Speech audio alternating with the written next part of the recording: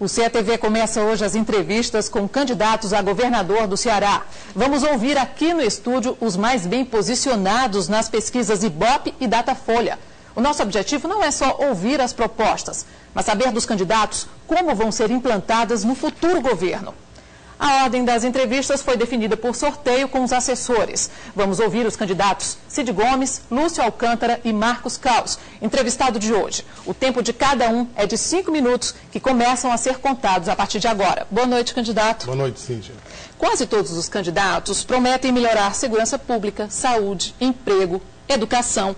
No caso da segurança pública, como é que o senhor vai implantar suas propostas? A segurança pública aqui no estado do Ceará chegou no limite da suportabilidade. Ninguém aguenta, a população está com medo, está angustiada e a população sabe que o governo precisa tomar posição. No nosso governo, governo 24 horas, nós teremos a polícia capacitada, né, não justifica um policial ir para as ruas com três meses de formação. Ele precisa ter pelo menos um ano de formação. Você precisa é, fazer a integração das polícias civil e militar nas delegacias. Você constrói delegacia aqui no estado do Ceará, não tem o delegado, não tem o escrivão, não tem o investigador de polícia. Portanto, não há apuração dos inquéritos aqui no estado do Ceará. Apenas sete de cada cem são, são investigados e são apurados no estado do Ceará. E o então, que, o senhor vai fazer para ter todos esses Primeiro, nós sabemos que o horário do crime aqui é à noite, nos finais de semana, sábado e domingo. Nós vamos ter que fazer concurso para delegado, para escrivão, para, eh, para investigadores, para os policiais militares neste horário, onde tem o horário do crime, período do crime, nós teremos mais policiais nas ruas. Nós temos que estimular os policiais também, tem que dar as promoções. Tem quatro anos que não tem promoção aqui no estado do Ceará. Então o policial não está se capacitando. Para você ter ideia, no Nordeste, o estado que pior paga o policial é aqui o estado do Ceará. Então nós temos que ter clareza, não é só o... equipamento, se você não tiver o ser humano, se não tiver o servidor do seu lado trabalhando e o governo presente na, na, na, nos acontecimentos aqui do Estado do Ceará. Candidato, o senhor pretende manter ou acabar com Ronda do Quarteirão? Não, Ronda do Quarteirão é um programa. Nós vamos aperfeiçoar o programa Ronda do Quarteirão. É, a polícia toda não pode ser Ronda do Quarteirão. Hoje existe uma clara divisão. A polícia velha e a polícia nova aqui no Estado do Ceará. O que está acontecendo é que está sem comando a polícia militar e ela está sem comando a segurança pública aqui no Estado do Ceará. Neste governo, o senhor foi secretário de Justiça. No futuro governo, o que é que o senhor planeja fazer para esta área? Vai fazer novas penitenciárias? Ah, aqui nós fomos secretários, é, a convite do governador, honroso convite do governador, mas fui é, numa missão partidária, é, desenvolver o projeto do nosso partido. Hoje a Secretaria da Justiça, ela é respeitada nacionalmente pelo Ministério da Justiça, pelo Departamento Penitenciário Nacional, porque nós fizemos. O que nós temos que corrigir é, uma coisa que eu encaminhei quando secretário.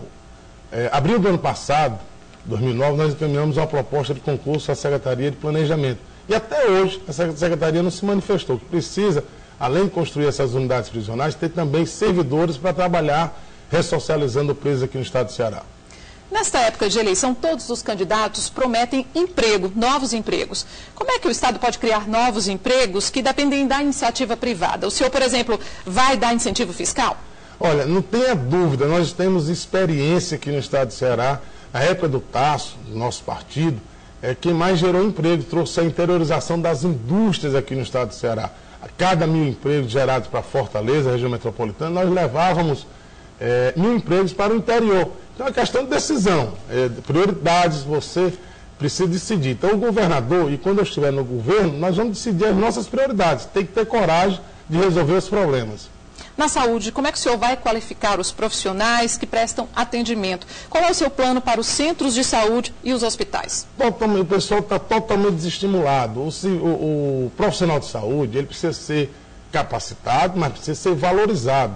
O médico, a, a enfermeiro, a auxiliar de enfermagem, o, o psicólogo, todos eles têm que ser valorizados e reconhecidos. Nós vamos investir nos hospitais municipais, para que o cidadão possa ser atendido no próprio hospital municipal, lá no seu município. Caso aquele atendimento não possa ser resolvido lá, aí ele vem para o hospital de referência, você amplia as ações na área de emergência, nos hospitais de, de, de referência, nos bairros de Fortaleza. Aí sim, não resolvendo aí vem para os hospitais gerais aqui do estado do Ceará. Uma das nossas maiores vocações, uma das maiores vocações do nosso estado é o turismo. Todo ano cresce o número de visitantes, mas há uma queixa em relação à estrutura. Na prática, como é que o senhor vai resolver isso? É, então, você está sendo dado. Busque na, na Infraero, é, na, na Infraero tem lá o dado que de 2008 houve uma queda no embarque internacional para o estado do Ceará. A verdade é essa o turista do exterior não está vindo Ceará porque está com medo da segurança, ele está com medo de ser assaltado, está com medo de ser morto aqui okay, no estado do Ceará. Verdade. Esse é, é o grande problema. Nós precisamos agora das suas considerações finais. Estamos Bom, no finalzinho. Eu quero ser governador para ajudar as pessoas mais pobres, mais humildes do estado do Ceará. Meu pai já dizia, meu filho, cuidado, só assuma compromisso que pode assumir. Então ninguém tem a obrigação de assumir os compromissos, mas tem a obrigação de cumprir os compromissos assumidos. E essa é a nossa okay, proposta candidato, séria. Muito obrigada pela sua participação. Amanhã o CETV vai entrevistar o candidato Cid Gomes do PSB na quarta-feira, Lúcio Alcântara do PR.